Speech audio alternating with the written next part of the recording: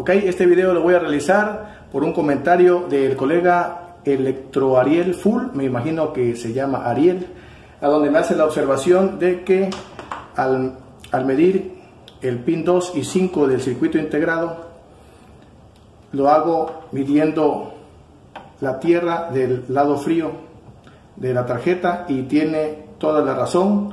Yo había realizado eh, ese, esa prueba bien, pero al grabar el video me distraje y tomé de este lado la tierra y obviamente el voltaje que apareció en el video no fue el correcto. Voy a realizar otra vez ese test y haremos algunas observaciones.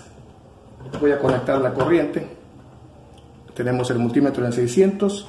Aquí vamos a medir el voltaje de entrada en el capacitor de 10 microfaradios a 400 volts y tenemos 166 y aquí mismo vamos a, a tomar la tierra y medir el pin número 2 tenemos que hay una lectura de 11 voltios solamente y nos vamos al pin número 5 y tenemos 20 voltios.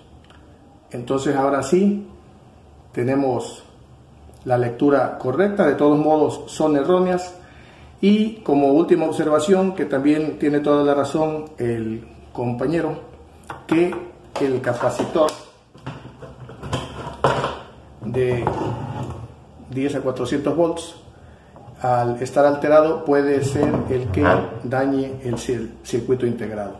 Entonces, de preferencia, vamos a cambiar el circuito integrado y también vamos a sustituir el capacitor electrolítico.